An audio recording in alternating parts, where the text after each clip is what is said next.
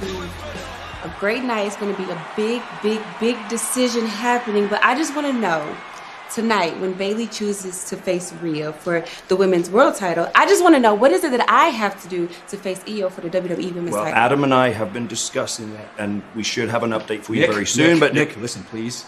Give me a challenger. They're calling me a part timer. I'm sick of it. I need a challenger. It could be Uh, Excuse me? anyone except Kevin Owens. Excuse me, we're kind of in the middle of a conversation right here. Me too. Congrats on 2K, by the way. Uh, your excuse. Nick, anyone. I'm pissed off. They keep calling me a part timer. Okay. I'm not. I signed a new First contract. of all, rude. Second of all, I don't know who you think you are. And third of all, go find you somebody else to play with. Like I said, I'm in the middle of a conversation I don't know who I conversation think I am now. either, but whatever this is, this confrontation is not professional. So, uh, Nick, I suggest you get your show under control here and start treating your top stars like top stars. Congrats on the reality show, by the way. I'm a big fan of your husband. Think about what I said. I was talking to a top star.